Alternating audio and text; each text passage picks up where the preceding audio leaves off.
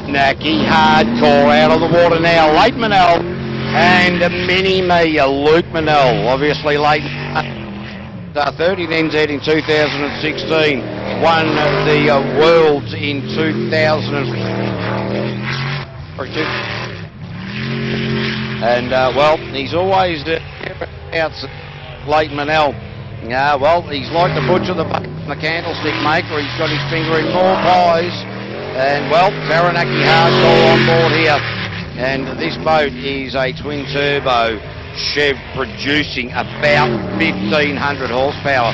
I was having a chat to Tim from 0800 Engine Builders, Lake Manel's Engine Builder, and uh, they're actually trying to work out how to take a little bit of power out of that. Oh, geez, the old Stinger hull with a CPSL 9-inch jet unit bouncing around on the far side of the track there on uh, Alfirm.